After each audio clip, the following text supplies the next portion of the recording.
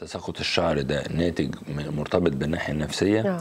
ده مهم بنلاقيه دايما في البنات الصغيرين فعلا اللي هم في المدارس والجامعات أو لسه متخرجة من الجامعة وداخلة في وظيفة أو حاجة طبعا لازم نستبعد بالنسبة للسيدة دي بالنسبة لبنتها نستبعد الحاجات العضوية اللي قلناها اللي هي الأنيميا واضطرابات الغدة الدرقية واضطراب وظائف الكبد ونقص الحديد ونقص فيتامين د بسلسلة تحاليل هي. هي مامتها هنا مشخصة الحالة يعني هي بتقول تقريبا إن هي أو خصوصا في فترات التوتر يعني آه، قبل الامتحانات. ما هو ده التوتر ده ما ينفعش إن إحنا نشخصه بدون تحاليل برضه. بالظبط.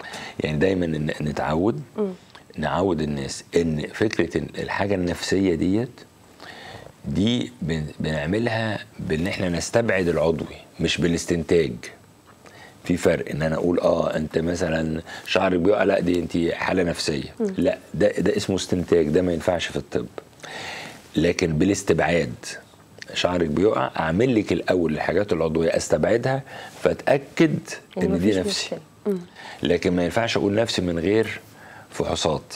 بالظبط. هي دي النقطة يعني. هو دلوقتي بقى فعلا دكتور حتى كمان بقينا بنحط يعني الحالة النفسية دي آه. تحت أي حاجة. أنا آه، عندي للأسف. مشاكل في شعري في تساقط آه. في أي حاجة أصلا أنا نفسيتي تعبانة. نفسيتي تعبانة. حتى لو نفسيتها مش تعبانة بس أيوة. هي نفسيتي تعبانة طالما شعري بيقع. صح. أو هي دي ساعات كمان بتبقى آه، دي بنشوفها مع مريضات كتير سواء في كل الأعمار بصراحة يعني.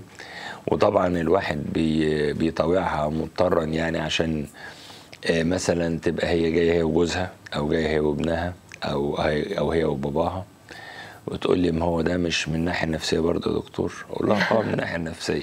تغمز. إيه ليه؟ طب قول له بقى يا دكتور. أيوه تروح بصله على طول. فلازم فطبعا إحنا بنقوم مجاملات بنقول لها آه ممكن طبعا لأن أنا كده ما كذبتش عليها. هو طبعا علميا ممكن. بالظبط. بس طبعا آه، مش صح قوي يعني ربنا يسامحنا يعني. لازم عشان نقول نفسيا لازم نستبعد الحاجات العضوية. بالظبط.